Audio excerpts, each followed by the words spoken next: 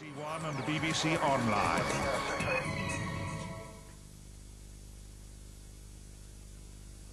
Due to the men's final from Wimbledon on BBC One, the news now on BBC Two with Anna Ford.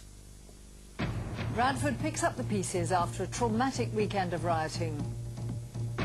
There was more trouble last night, though no repeat of Saturday's violence.